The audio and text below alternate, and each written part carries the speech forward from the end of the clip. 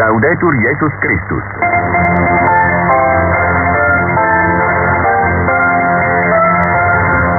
Amigas e amigos, saudações. Esta é a Rádio Vaticano a emitir em língua portuguesa para a África. Apresentação de Bernardo Suárez e Dulce Araújo nesta segunda-feira, 17 de abril de 2023 foi hoje publicada a Carta Apostólica do Papa Francisco em forma de motu próprio, Tridem, com a qual são alteradas algumas normas do Código dos Cânones das Igrejas Orientais relativos aos bispos que atingiram a idade de 80 anos.